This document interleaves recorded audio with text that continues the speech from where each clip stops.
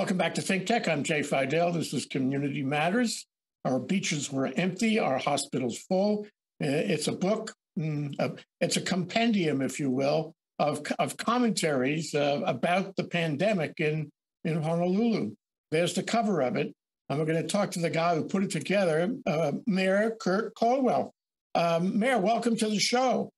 Thank you, Jay. It's been a long time, I think, since uh, pre pandemic. And um, kind of missed being on your show. It's always fun to engage with you, both from a you know from from an intellectual standpoint, but also from a from a, a humorous point of view too. So it's it's really good to be back on your show. Thank you for making it available to me and and to your listening and viewing public. You know, it's possible that somebody out there doesn't know who you are. I know that's a long shot, but I want to just do some touch points, okay? Okay. Waipahu, Waipahu, um, Tufts, uh, for undergraduate, UH for law school. Mm, wow. Um, practiced with Ashford Wriston uh, for a while, um, ran for the state state house, um, succeeded Brian Schatz, you remember him, um, became the my majority whip as a Democrat, member of the Democratic Party and so forth, acting mayor of the city, uh, ran for mayor, became the mayor a couple of terms, okay? Uh, and then in 2022, um, was it 2022? You became the author of this book. Correct. Along Jay, I'd like to correct it's just not me as the author, also Georgette Takushi Deemer, who was our um, deputy managing director when I was mayor, but also when I was majority leader at the state house, she was the house communications director, where I first got to, to meet her. And uh, we co authored the book together. She's a great disciplinarian, made sure that I stayed on task, that we did interviews. She transcribed um, all the, the interviews, and then we together co-wrote it. Well, yeah, um, and I tell you, there's not many people could have put this book together the way you guys did, because you you touched um, so many people. You you must have a Rolodex as long as your arm. It's, it's fabulous. you connected with everybody you ever knew and that I ever heard of. In fact, a lot of people I never heard of, and they're all there in this book. So it's like you know, it's a classic in the sense that you are touching all all people all across yes. the spectrum, and yes. that's really something. And the subject, of course, was uh, all about the pandemic, and you yep. were mayor in uh, 2020, 2021, um, while it was happening. But yep. let me ask you my first fun question. Okay. The mayor, the mayor, and the city and county do not have a Department of Health, as I recall. So, what was your interest in in the pandemic if it's a state issue and a federal yeah. issue? Well, Jay, you're absolutely right. Um, the city and county of Honolulu, nor the other counties uh, for the state of Hawaii, have a Department of Health. Very unusual. Most other cities around our country have a Department of Health attached to them. And the reason we don't is goes back to the kingdom days where all power was centered uh, in in the power of the of the royal leader, both or king or queen, and therefore the Department of Health was with the kingdom.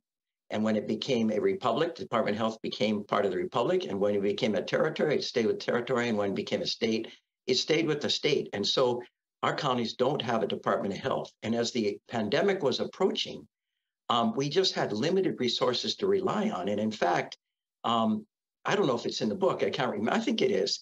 But in February, I actually asked Sarah Park, then the state epidemiologist, to come meet with our cabinet about, you know, do we need to worry about this pandemic that seems to be, well, we, we knew this COVID-19 was had left Wuhan, it had gone to other parts of Asia, and was now in Washington state. And we were concerned about it coming to Oahu. And so we brought her over and um, she cautioned us to from to not overreact uh, my my gut was saying to react more quickly and get things going. You know, we asked about wearing masks. It's not really appropriate. How about temperature taking? Mm, you know, it doesn't always show that there's a pandemic uh, when you have a higher temperature. Washing your hands is the appropriate action at that time. Now, the state epidemiologist was echoing what the CDC was saying on a national level. And you have to understand that President Trump, the president at that time, was poo-hooing this whole pandemic. So I think the health system, government health systems really failed the people of the country and of the state of Hawaii at that time, in my mind. But that's all we had to go to. Um, the other interesting thing is back in January, I actually asked uh, my chief of staff, uh, Gary Kurokawa, and I asked um, our director of emergency management, give us everything on the Spanish flu of 1918 mm. that involved the city and county of Honolulu. They came back with zero things, except they said, oh, Mayor, in 2010, we did a binder of continuity of government if a pandemic strikes in terms of how do we keep the water running? How do we make sure we treat our sewage? How do we make sure our garbage is picked up? But not a thing about how do we protect the people of the city and county of Honolulu. And so there was a page in that book, by the way, that how do you know if you have a pandemic? And it was like 20 questions. And if more than half of them were checked, that meant you had a pandemic. Well, in January, we started checking them, and more half, more than half were checked. And we thought, holy moly, we had a pandemic on our hands.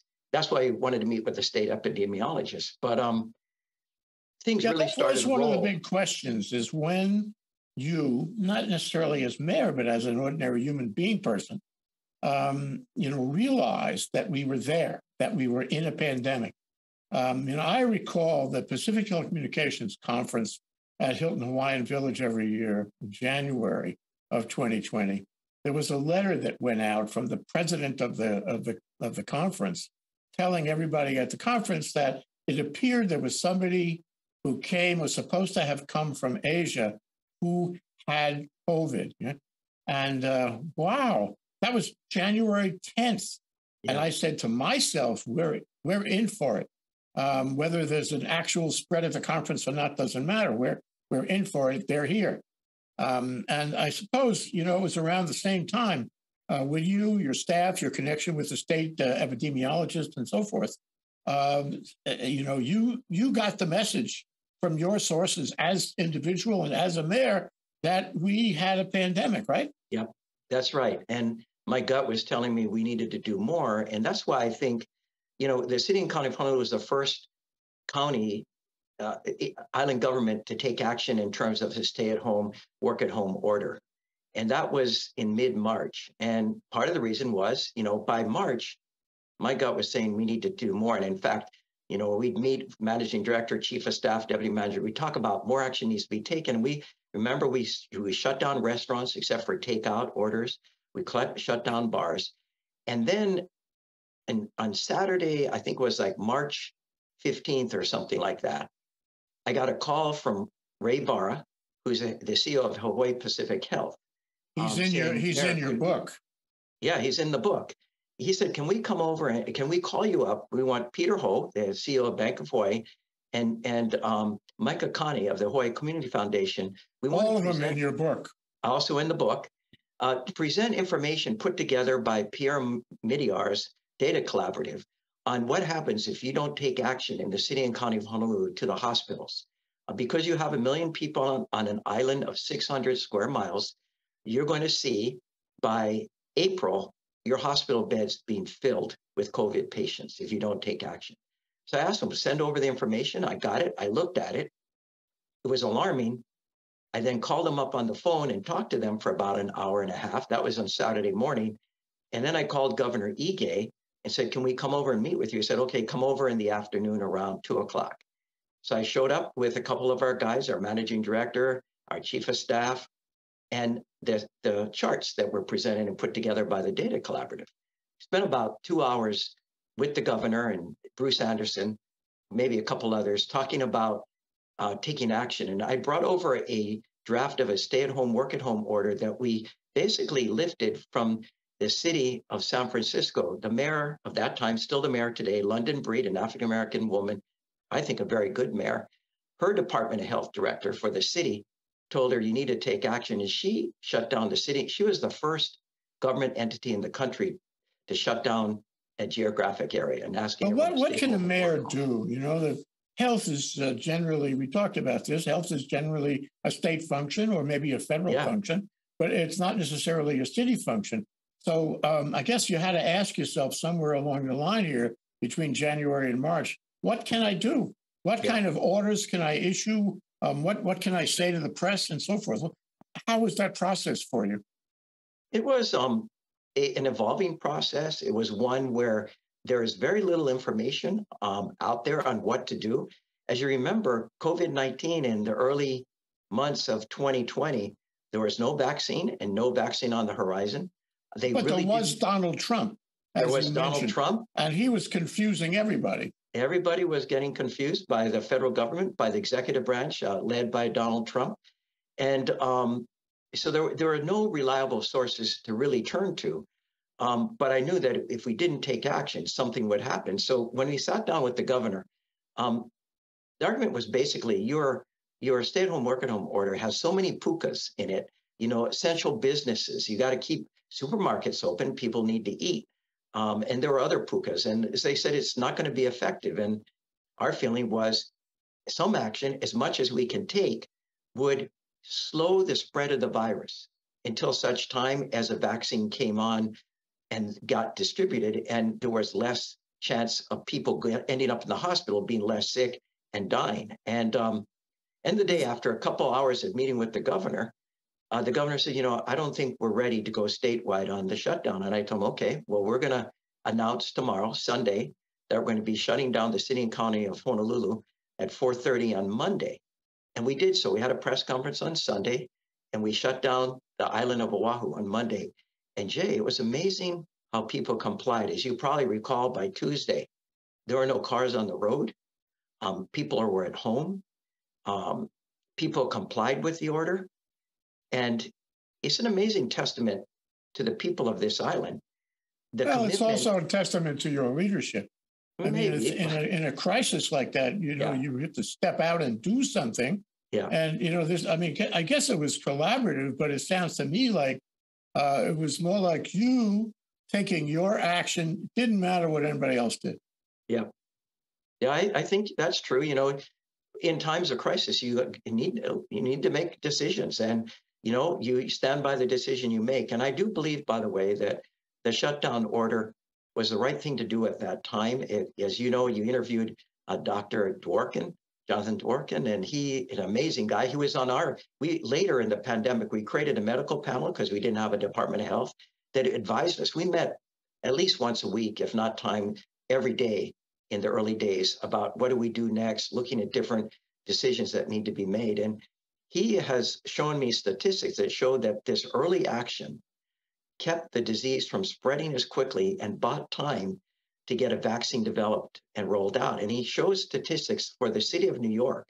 He said you had a mayor in Bill de Blasio and you had a governor in, in, uh, in Cuomo who were fighting with each other about who had control over the decision making in the pandemic for the New York City. And they, they delayed well beyond Honolulu's actions as you know, New York City unfortunately became ground central for the pandemic in our country, kind of like Bergamo, Italy, where you had people dying in the you know the hallways of hospitals, where you had refrigeration containers outside storing bodies. Um, and Jonathan, he wrote he wrote about that in his book, Plague Doctors, yes. which we reviewed with him um, a week or two ago. And yeah. Bergamo is a really interesting example of um, the worst case analysis. No? Yep. So I, you know, I was very impressed that the city, at least in those times, March, March of 2020, was responding that way. And people are going to, you know, go along for that because they were afraid. They were they read all the stories about other places and yep. and especially the state of Washington with the senior facilities there, everybody dying, going into hospitals, not enough ventilators. It was all beginning to unfold in a really bad way. Yeah. So, I mean, you know, as I said before, it was leadership is stepping out and it was taking affirmative action. And I, I, must say that, you know, in general, I'm not sure you can agree or disagree. I'm not sure that the state moved fast enough. I'm not sure that the state took this seriously enough. Um, and I'm happy that you did. Can you, what is your opinion, by the way, as to the collective, you know, the collective of government in Hawaii between, say, the spring of um, what 2020, and uh, I guess when when the, the, vaccines came in the end of 2021. Well, Jay, um, I think it is in the book at the end. A conclusion we have recommendations of what how can we do better and what should be done when there's another pandemic. And I believe with our warming climate, I mean, you look at the just the news in the past couple days that you're aware of. I mean, from fires in southern Italy and Greece to the uh, the ocean in the Florida Keys being warmer than a hot tub, to China having massive flooding, to the fires in in Canada. Um, we are we are seeing extraordinary things happening on our planet, and I believe the warming of the climate is going to create more opportunities for pandemics in the future. Which is why I wrote this book. Partly was to tell the story, and part of it was to provide a framework for the next time a pandemic hits, they can go back and look at it and see what did the state do right and what did the state do wrong. And to answer your question about the state approach, our conclusion is that a Department of Health, whether it be the state of Hawaii or California or Massachusetts or Florida, they are not equipped to respond to a pandemic, which is in a, a, an emergency. It's like a hurricane or an earthquake or a tsunami. Um, these these responses have to be immediate and quick. And emergency management departments, whether it be HIEMA in the state of Hawaii or the city and county's Department of Emergency Management, they're trained to take action quickly and to implement provisions. And in this case, we relied on the Department of Health, who has no experience in return, responding to a, a fast moving emergency. And the pandemic was like a hurricane approaching our shores. Yet they were looking for more information. Uh, they were delaying action, um, and they didn't have the the people power to implement things and get things done. And so, relying on the Department of Health, I think, in the long term, is not the way to go. I think for the state, they relied too long on the Department of Health. They finally turned it over to HIEMA, and you had the, the, the General of the National Guard taking more action as he should have. Um, and I think they got better as time went on. And I think it really changed when you had Libby Char, who was a city employee, who was with the Honolulu Fire Department, who deals with emergency responses, He's took over and was much more nimble and much more willing to make decisions quickly uh, to start addressing the problems. And you realize, you remember, there's a real debate between the city and the state on contact tracing. Right. We felt there weren't enough contact tracers they Department of Health said we have we have an army. Well, it turned out there was not an army. And um, when Libby got over there, we worked with her and we used our CARES money to hire basically polling firms and marketing firms that are trained to make calls and ask questions um, to, to be our contact tracers. And the city paid for them, for the state to do it, because we thought it needed to be done quickly. And we thought the approach was a good one because these polling firms, they they hire people as the need comes. If you don't need as many tracers, you don't need them. If you need them, you just call them. They've all been trained, and so that's well, that was Jonathan Dworkin talked about that when we interviewed him. He talked yeah. about how successful Korea had been in dealing with transmission. Transmission is the first order of business, and that means contact tracing, which we didn't really get started early enough. Korea did a really good job on that. But if you had to take a lesson, one of the many lessons out of his book as an epidemiologist, a virologist, um, you would say we, would have to focus, as you have said, uh, on contact tracing right away to stop transmission. Yeah. Um, and and you don't have to get very technical about it. You got to find out what you know where it went from what yeah. person to what person. Really important. So it's I'm going to ask you a completely strategic response, by the way, Jay. It's a much more strategic response. I was going to mention we have a sister city relationship with the city of Incheon, South Korea, where their international airport is. And um, we, I called the mayor of Incheon, city of 3 million people. They had much fewer cases than the city and county of Honolulu.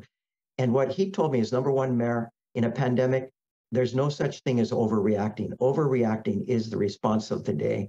And we responded quickly, we tested, we traced, and we isolated. We put people who couldn't isolate in their own homes into hotels where they could be taken care of and de- delay the spread. And Incheon stayed open. They didn't close down the city, but they were very strategic in testing, tracing, and isolating. Yeah. Yeah, that's the secret, isn't it? And, yeah. you know, I mean, implicit in all this conversation is that it will happen again. It won't be the same microbe, not the same virus, not even the same characteristics, but it will happen again. Uh, these things pop up from time to time as they have through, you know, through through our civilization right. going way back. But I want to ask you um, a, a, completely unfair question. you know, you have 300 pages of um, of um, dialogue, yes. Um, of colloquy, and um, it, you know, including you. You know, you had a lot of things to say, and you're all through the book. Um, so I, I, wanted to ask you uh, if you would take a moment and just summarize that for me. Is that an unfair question? summarize what I say throughout the book, or uh, what everybody says. I mean, you you covered the whole landscape with all these yeah. people. I mean, this is the group of people that operates the city and to a large extent the state. I mean, it's yes. everybody. I like to meet them all. You want to have a party. You ought to have a party and call them all down so they can talk to each other. Fantastic yeah. experience. But anyway, assuming they were all there at a party and they were all chit chatting around the room about what happened, would you mind, Kirk, if you could just summarize it all for me? Yeah. Well, I, I, will summarize it for you, Jay. Um, and if they were all together, and there's a good idea. Maybe I should invite them up to our house. There's a, there's 25 of them. We could sit around and you know have stand up and eat and talk story, and that would be a nice thing to do because we haven't been together since the pandemic.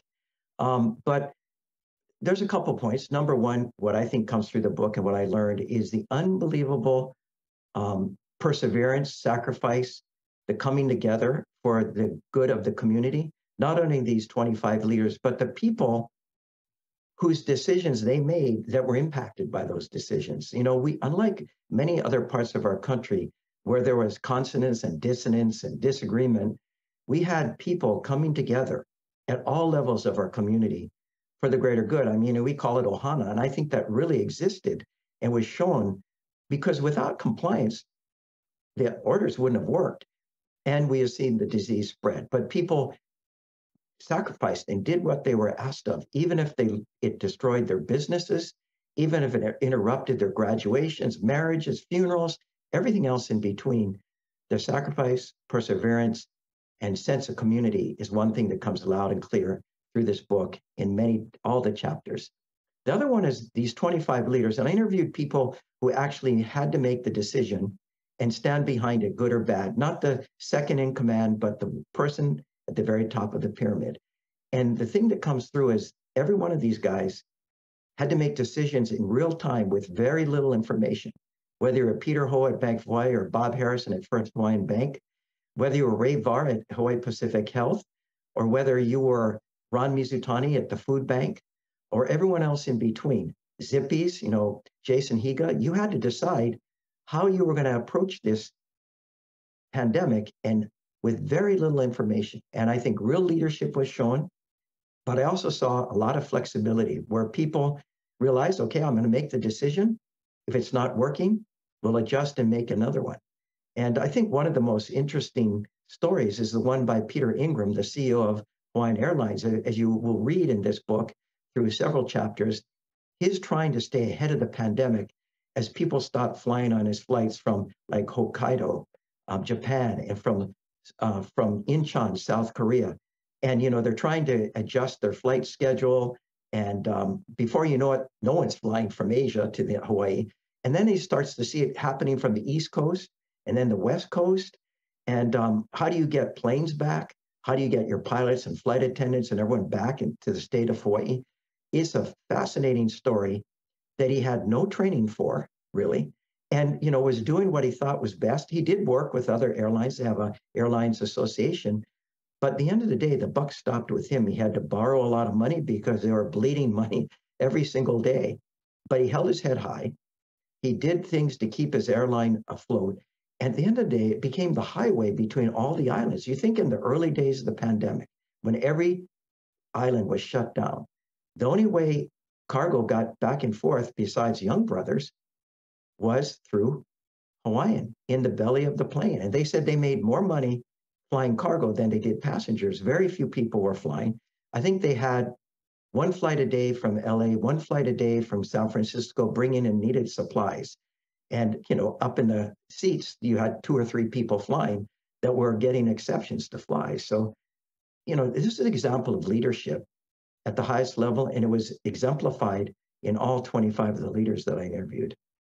You know, it may not have been completely obvious at the time. At the time, we were all thinking, well, this is going to, you know, revert like a boomerang right back to normalcy one of these days. We'll just wait around long enough and we'll be back to the, the way life was before. But hmm, of course, we found out you know, since that it yeah. doesn't work that way, and and that COVID had a really profound effect on our society here and everywhere, um, and it changed it changed everything. And you know, you look down Bishop Street, you can you can feel it, see it right now today. Yeah. It's different. Um, the buildings, uh, office buildings, largely empty, and that's so in other cities. Um, businesses have changed the way they work, the way their employees come to work or not. Um, their, you know, their bottom lines have changed. There's been a, a sort of an accelerated evolution, if you will, in the economy of the city and the state. And I wonder um, if you if you got comments from your various commentators about the permanent changes that have come out of this? Well, um, that's an interesting question. The thing is, when we started doing the interviews, we were still in the pandemic. Now we thought, man, by the time we finish the book, the pandemic's going to be over. Um, as it turns out, we, you know, we may not have a pandemic, but we still have COVID nineteen, and I know people who even in the office building I'm, that I'm in uh, have gotten COVID in the past couple weeks. And you know, even though they're fully vaccinated and boosted, um, they are sick for six or seven days. So we're still not out of it. At the time we interviewed the, the 25 leaders, we were still in the pandemic. It was the tier system was still in place. It was starting to come down. Um, Mayor Blangiardi was starting to change it and open up a little bit more.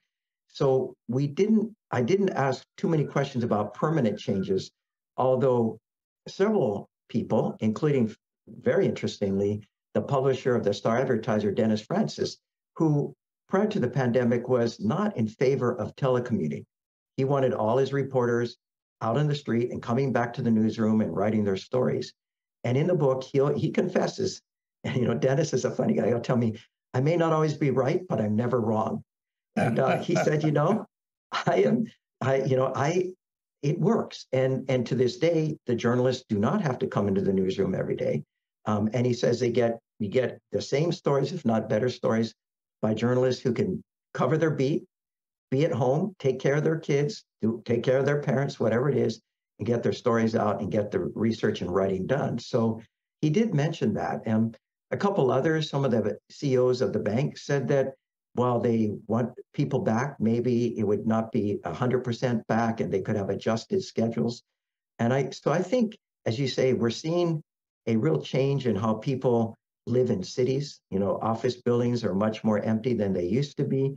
And some of them is, are, are con- converted, like the Theo H. Davies building is going to become a, a condominium. And as you know, the old First Hawaiian Bank building, the one that they built before they built their new one where the bankruptcy court is, now that's, know, um, uh, Douglas Emmett has converted it to affordable, to a rentals. It's a great project. Um, and there's a couple others that are being looked to convert to housing which I think is great for the city to have more residents in downtown Honolulu, not having to commute as much, using less energy, being closer together is all good in terms of fighting our, our climate crisis. So yeah, there's uh, permanent changes we're seeing that have been brought about this about this pandemic. But if you read the book, you're not going to see you'll see some, but not a lot of focus on that. If I went back to them today, I think you'd see them talking about significant permanent changes that are being brought about by the pandemic. Well, that that would be my suggestion that yeah. you already have your team in place.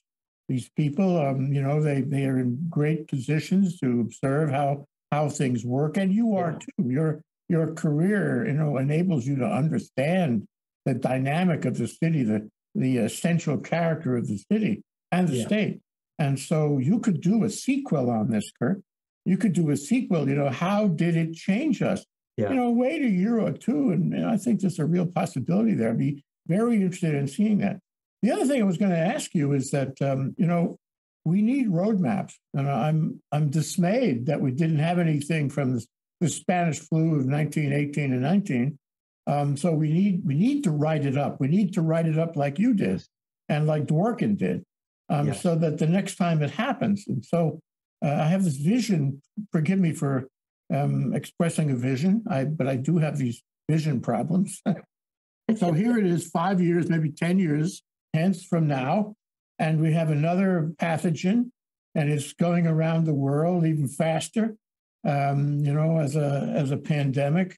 And somebody says, oh, we've got to develop a, a way to deal with this. We have to develop an approach quickly. Let's get Kirk Caldwell's book off the shelf. It's called Our Beaches Were Empty, Our Hospitals Full. We have to read that in detail to develop a roadmap for the next iteration of this kind of virus. What do you think? I like that idea. And in fact, the last chapter of the book provides the roadmap. Um, what we did is we actually took a bunch of suggestions from a group of physicians and healthcare practitioners, including Jonathan was a part of it. And um, they had recommendations on what to do with the next pandemic. And many of them were ones that we agreed to, we agreed with, and that the leaders I interviewed also thought worked. And so the last chapter is a kind of a combination of what they thought and what we thought. And it's a roadmap. And it's it's for that very reason, Jay. I mean, without joking about it, it's that people turn to this. And of course, you know, a stay-at-home work-at-home order is part of it, more strategic this time than the last one, until a vaccine is developed. And I believe with the RNA uh, research, you know, the technology today, they'll develop vaccines more quickly. But until it does, you need to slow the spread. Then you roll out the vaccine. But what are the other things you do? You do put up a barrier to coming into Hawaii. You know, you got a great moat around the Hawaiian Islands, and you do testing, tracing, and isolation. You make sure you have stockpiles of PPE. You make sure you have enough oxygen. You make sure you have enough of the, the antiviral treatments that you need when people get sick. Um, you need to make sure that the Department of Health is not the decision makers, that HIEMA uh, leads the response for the state of Hawaii, along with the emergency management departments of each of the counties. You need to make sure, and here's a real tragedy, that the schools are involved in the decision making, the superintendent of education. Mean, you think about the impact that we had on, on the kids of Hawaii and their loss of learning, particularly in the public school system that did a hero's response with very little support from anyone else. That was a real tragedy. Um, is amazing. The, the private schools did a better job just because they're more well funded in some ways, and they have the ability to, to, to move a little bit more quickly, and you have a parent student population that's willing to comply with the request being made. Um, but having them at the table and, and making decisions together. And and I think we can get through the next pandemic a lot better than the last one. This one, we proved. Look at today. I mean, well, maybe not everyone's back in the office. We go about our lives. People are traveling. Waikiki is filled. Um, we celebrate life together.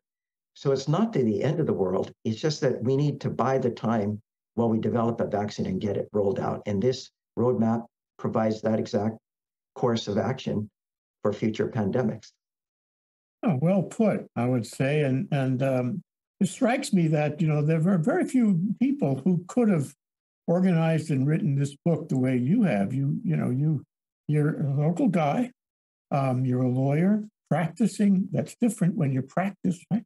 A practicing um, you know legislator. That's really important, um, and um, and a mayor um, close to you know where the city works, the policy points how you control things, how you get the message out. All of these things prepared you to write this book. So, um, you know, it's really quite something. You got to be the perfect guy um, for this book. So, my question is, how how has this book changed Kirk Caldwell? Does he now recognize that in this this this career biography you have, that there's a writer that there's someone who tackles these difficult public policy issues in writing to the public. What do you think? Have you changed? I don't know if I've changed. I have to say it was uh, a sense of satisfaction that Georgette and I wrote this book, that we actually not only thought about it and not only due to the interviews, but we actually wrote it and got it published. And, you know, people will call and say, I went to Barnes and Noble, they're out of the book. I went to Native Pine Books and things and they're out of it. So, you know, people are buying the book and that's reaffirming. Now, the proceeds from the book, in fact, go to the John A. Burns School of Medicine. So the School of Medicine can help us with the next pandemic. Mm-hmm. Um, and, you know, we're doing a book signing at Barnes and Noble this coming Saturday at one o'clock at the Ala Moana uh, Barnes and Noble. And for every book purchased, they're going to make a donation to the medical school. So that's great. I, and I have to say, I feel good supporting this medical school, you know, that's just educated so many local kids who've gone on into the medical profession didn't have to leave the state. so that's a very so how's it changing me? That's reinforcing that we could do a book that we're doing good in terms of the sales proceeds. Um, the other thing is, for me, it was more in interviewing these folks and hearing their stories about how their decisions impacted their employees and how their decisions impact, impacted the general public. It just made me feel how lucky I am to have been born and raised in Hawaii. How lucky I was to be, you know, the uh, elected official in the state house from Manoa and the majority leader and a mayor. That that we live in an exceptional place. Jay, you and I, and everyone else who's watching this, we're lucky. And we need to treat it as a special place. And it starts with the actions that we have towards each other on all kinds of different issues. So maybe that changed me. You know, it made me more reflective, um, more in love with this place, and and you know, in humanity. That in the worst of times, we don't get bad or, or, or react in a bad way, that we actually can step up and come together for the greater good. And that gives me a lot of hope and um, wants me to do more in our community. And I, I don't know exactly how, but you know, it just says, I want to continue working in this community and I want to continue to make sure that we're the best we can be and that, you know, we're an extraordinary group of people as it is. So that that's Kirk Caldwell. He, he's not just uh, good looking and very articulate and smart, he's also a, an altruist. And maybe this is his big opportunity to go full tilt into altruism. Please consider that going forward, will you, Kirk? Okay, I will. Thank you for that reinforcement, Jay. Kirk Caldwell, former mayor of the city and county of Honolulu, joining us today uh, to talk about his book, which is going to be signed this weekend. Uh, our beaches were empty, our hospitals full. A very important contribution um, to the, the literature around the development and the struggles and the challenges and successes of our city and our culture.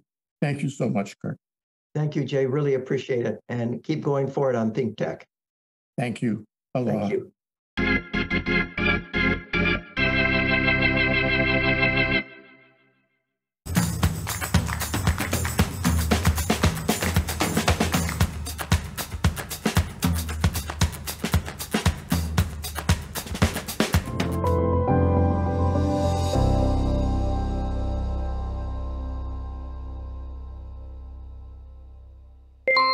Thank you so much for watching ThinkTech Hawaii.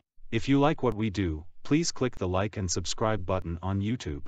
You can also follow us on Facebook, Instagram, and LinkedIn. Check out our website, thinktechhawaii.com. Mahalo.